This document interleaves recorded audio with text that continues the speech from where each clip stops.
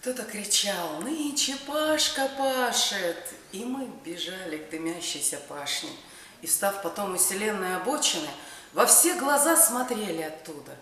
А он у края пропасти точно трактор свой разворачивал круто. Казалось, трактор потянет к обрыву, и бабы глаза закрывали пугливо.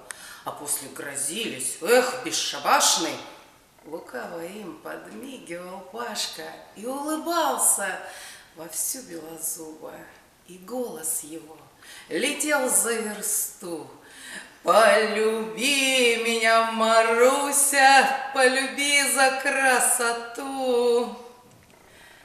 Были очи черней, чем уголь, были брови, тревожное чудо. Забивалась я в дальний угол, на него смотрела оттуда. Десять лет красота непонятным, чем-то будущим заволнует. Выходил он высокий, ладный, под улыбку свою озорную, а в ресницах запуталась лихо, и гитары полночный звон, и мужья, ревниво окликнув, водили из клуба жен. Брови ломаны, кверху вьются, а над струнами пальцы бьются, по ладам бегут в высоту. Полюби меня, Маруся, полюби за красоту. Небо грозное, небо черное, фронтовые дальние выстрелы. В эшелоне под стук колесный, уезжать далеко в трактористу и вернуться зимой домой. Вместо ног – Два обрубка квадрата. И лицо все ожогами смято. Где ж девалась твоя высота? Где ж девалась твоя красота? И когда он пил до угару, то кричал.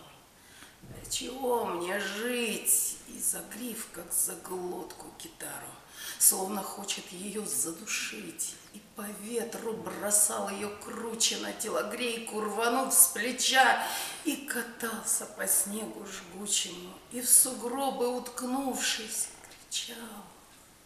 Горе века, тяжесть века, на земле плачет полчеловека. И не струны, а стоны рвутся, и слова с тоской в пустоту. Полюби меня, Маруся, полюби за красоту. Нет, мы его не жалели, всем селом поднимали. Протезы, желты, как факелы, яростно полыхали. И от него не водкой, а новой кожей пахло. И шел он тяжелой походкой, волнуясь полем непаханым. И сотни глаз на распашку смотрели на нового Пашку. И сам в себе открывал он и силу, и широту. Полюби его, Маруся, полюби за красоту.